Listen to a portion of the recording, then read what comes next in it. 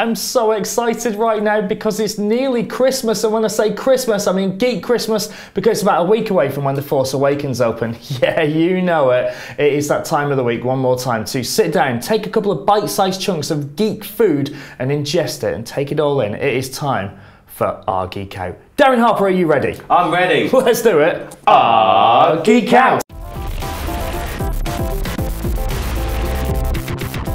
I'm John Isherwood, this is Darren Harper. Hello. Let's get going talking about what is on the telly right now, shall we? Darren Harper, there is not much going on at the moment, is there? No. It's getting towards Christmas, everything's finishing. Yeah, everything's finishing. You've got Christmas specials of this, that, and the other coming out. Uh, but as for geek stuff to watch, yeah, there's not that much. Fairly poor. No, it is fairly poor indeed. Um, but there is some great stuff on the horizon, John. Just in that new year, uh, Uh-huh. we are looking forward to. We've spoken about the full X Files is coming back, of course. Yes. Uh, the brand new teaser came out uh, this week, and uh, well, it, it does look excellent. We've got some uh, air dates, but only in the US at the moment. Okay. Uh, they're airing it a two-night premiere of the X Files event series.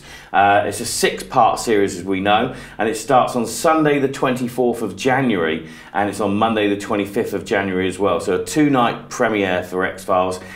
As when it starts on the UK, we don't know, but I would imagine it's going to be around about that same time, end of January. Uh, I'm, I'm getting really excited about it, I must admit. I can't wait. Mulder and Scully were just the best characters when I was growing up. I love that show, it was brilliant. And they've just released a new website, which is a Tumblr website. If you go to the X Files on Twitter, you'll find it on there. And you need a password to get into it. Can I spoil it? Why? The password. I want to spoil the password. Why? So everyone can see it. Go on then. It's X Files. It's X P H I L E S. Get that in there, and then you get to a website where you don't really know what you're doing because it's just an image and it says, What's this? All right. That sounds very exciting. I know, it's brilliant, but I don't know what's going on with it. It's really confusing, but I can't wait for it. it. It looks amazing. This whole series looks brilliant. I can't wait for Mulder and Scully to come back into our lives, along with Skinner, Yeah. cigarette smoking man, Yeah, I thought he was dead. and some aliens. Yeah, I'm sure there'll be a smattering of them. Oh, it's going to be brilliant. Apparently, there is a couple of mythology episodes in this, so can't wait to see those. X Files starting, mm. also in the new year, and I know a lot of people are getting bored of this kind of stuff. Another superhero series is going to be kicking off. What's that? Legends of Tomorrow, which is going to be on the CW. This is the home to Arrow and the Flash. Smallville, yeah, Smallville as well. Uh, and, and was Birds of Prey on that? possibly. Yeah, random.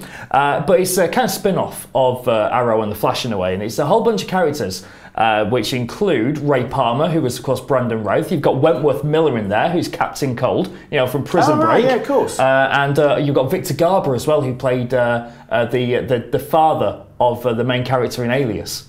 Okay, uh, this sounds intriguing. They're all going to be a big team of sort of ragtag superheroes. This is the Hawk Girl and uh, Hawkman scenario in this one. And they're all getting together to save the world, but they're doing it in a kind of quantum leap time travel style uh, with a guy uh, who is played by Arthur Darvill, who used to be in Doctor Who. oh, yeah. Uh, he's going to be the man who's taken this whole set of uh, uh, characters on a journey to fight a guy called Vandal Savage, who's an immortal, so I don't know how they're going to beat him.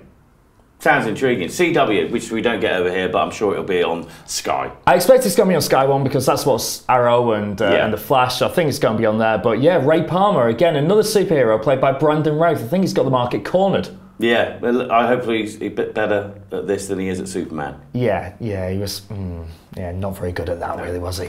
No, he was not.